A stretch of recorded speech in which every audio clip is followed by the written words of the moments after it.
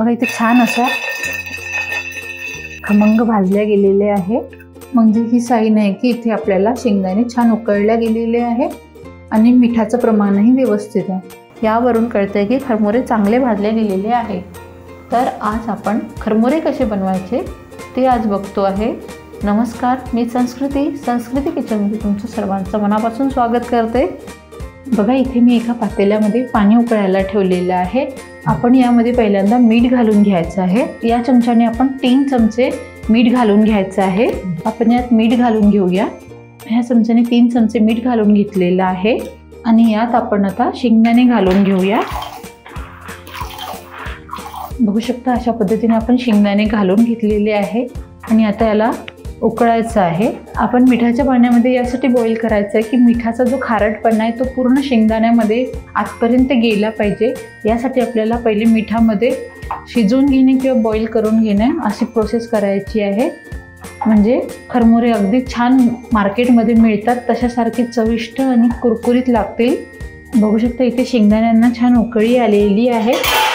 आणि हलक्या हलक्या अशी सुरकुत्याही आलेल्या आहे ही साईन आहे की अगदी खरमोरे मस्त बनतात यासाठी.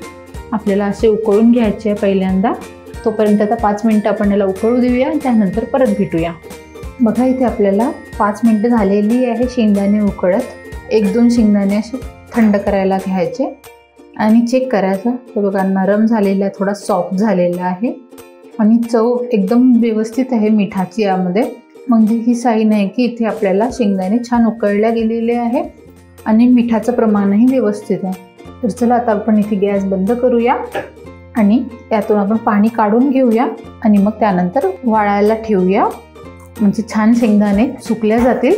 चाळणीमध्ये पूर्ण यातलं पाणी काढून घ्यायचं आहे. म्हणजे पाणी पूर्ण निघून जाईल आणि शेंगदाणे यामध्ये छान राहील. बघू शकता इथे मी पूर्ण शेंगदाण्यातून पाणी काढून घेतलेलं आहे. आता आपण हे पाच मिनटं असंच ठेवूया. त्यानंतर एका कपड्यावरती वाळायला घालायचं आहे. अशा पद्धतीने पूर्ण सुकवायला ठेवायचे आहे. आपण पाच सहा तास आधी सुकत ठेवलेले होते. ते छान सुकल्या गेलेले आहे. आपण आता यांना भाजून घेऊया. म्हणजे यापासून आता खरमुळे तयार होतील. आपण थोडे शेंगदाणे घालायचे. खूप जास्त नाही घालायचे आहे.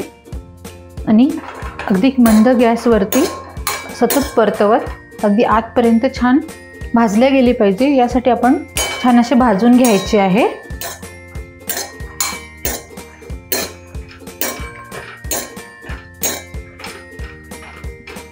कलर चेंज होतो आहे बघू शकता इथे. आणि कुठेच आपल्याला गॅस वाढवायचा नाही आहे कमी गॅसवरतीच भाजायचे आहे. मला आता इथे भाजत असताना पाच मिनटं झालेली आहे.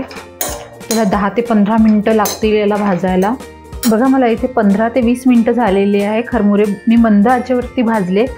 आता गॅस बंद करून घेतलेला आहे आणि आवाज ऐकू शकता तुम्ही इथे. खनखनी जसा आवाज येतो आहे. आता शेंगदाणे थंड होऊ देऊया आणि लगेच आपण सर्विंगला घेऊया. गरमागरम खरमुरी तयार आहे. अगदी क्रंची खसाळ असे खरमुरे झालेले आहे. हा अगदी स्नॅक्सचा प्रकार म्हणू शकतो आपण. कुठे प्रवासात जायचं असलं तरी आपण सोबत घेऊन जाऊ शकतो. अशा प्रकारे बनवून ठेवले तरी मस्त स्टोअर करून ठेवले की आपण कधी पण खाऊ शकतो. बघा इथे छान असा खमंग भाजल्या गेलेले आहे. आणि बघू शकता छान म्हणजे हीच आपली साईन आहे की छान खरमुरे भाजल्या गेलेले आहे. एकदा नक्की ट्राय करा. चॅनलवर नवीन असाल तर लाईक करा शेअर करा आणि सबस्क्राईब करायला विसरू नका. अशाच नवीन रेसिपीसोबत पुन्हा भेटूया. तोपर्यंत नमस्कार.